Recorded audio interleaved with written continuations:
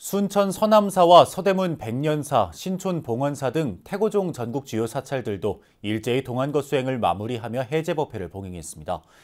태고종 총무원장 상진 스님은 양주 청년사에서 겨울 안거를 회행한 스님을 격려하며 깨달음을 향해 더욱 정진해 나갈 것을 주문했습니다. 이석호 기자가 청년사의 동안거 해제일 표정을 담았습니다.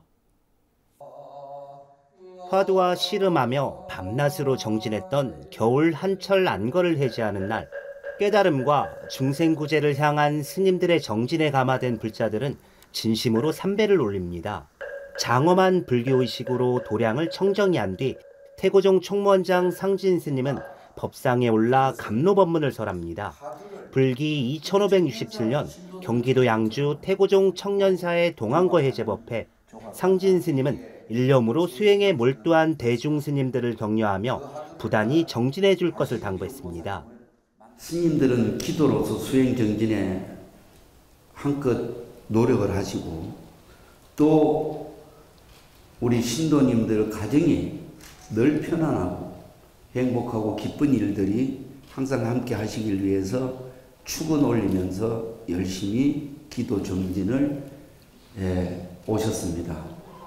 그동안에 정말 고생이 정말 많으셨습니다. 상진 스님은 불자들에게 중도의 마음을 강조하며 두려움 속에 모든 고통이 따라오는데 내가 힘든 건 잠시 전생의 빚으로 생각하라고 설했습니다. 너무 삶을 어렵게 살지 말고 그렇다고 쉽게 살지 마라. 이 불교는 중도라는 사상이 있는 이유가 바로 쉽지도 않고 어려움도 가지지 않는 것이 우리 불자의 마음이라고 생각합니다. 정월 대보름을 맞아 소원 소지를 태우는 소지의식과 함께 방생법회도 봉행됐습니다. 사부대 중에 소원지가 내걸린 소대에 불을 붙이며 올 한해 애구는 떨쳐내고 좋은 일만 가득하길 염원했습니다.